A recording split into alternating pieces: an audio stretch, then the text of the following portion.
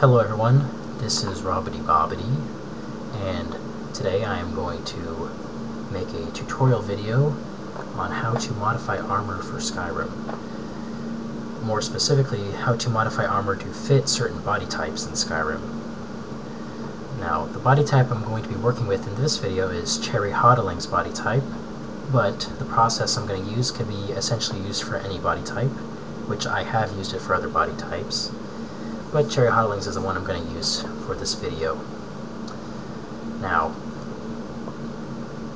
even if you are completely new to this, I will do my best to go through it piece by piece and even try to intentionally run into problems. So that way, if you um, decide to try to do this yourself, hopefully I will go over enough of the programs and run into enough problems get you help you get to the point where even if you run into problems yourself, this video um, can help you get through them.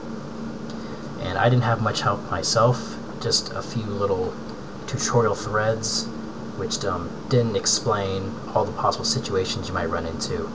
And I might not run into all the situations here on this video, but I'm definitely going to cover a lot. And I've gotten to the point after many months of being confused and lost and hitting my head against my monitor gotten to the point where I can modify armor without having any issues. And hopefully you'll get to that point too if you want to if you decide to pick up modding yourself. So I'll go ahead and get started here. The two programs you're going to need, or at least the ones I use, are 3ds Max and NifSkope. And even though I do have Blender on my desktop, I don't use it. I tried using Blender, didn't really work for me. I like 3ds Max more. And if you get 3ds Max, you're going to also need to download a plugin that enables you to uh, import and export NIF files. That's very important. So, those are the programs you're going to need. And now the first step in our process is going to be to open up 3ds Max. But, since I'm working with Cherry Hotaling's body, she was gracious enough to uh, upload the bone pose onto her onto her uh, mod site on the Nexus. So I have that right here, and I'm just going to double click that, and it's going to open up 3ds Max for me, and her bone pose will be already loaded.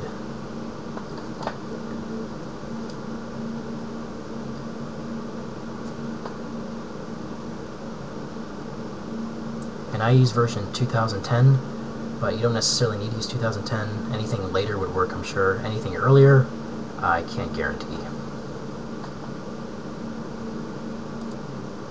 Alright, so now we are here in 3ds Max, and I have the bone pose structure in the middle here. Um, just a couple helpful hints. Um, hold down mouse 3 to, to uh, move in one dimension vertically, and if you hold Alt while holding mouse 3, you can kind of pivot around, and those are the main controls you're going to be using as far as the camera. And I know there are a lot of buttons here, and I decided that instead of going through them one by one and explaining them, I'll just explain them to you as I need to use them. So, let's see how much time I have going on right now. Uh, Alright.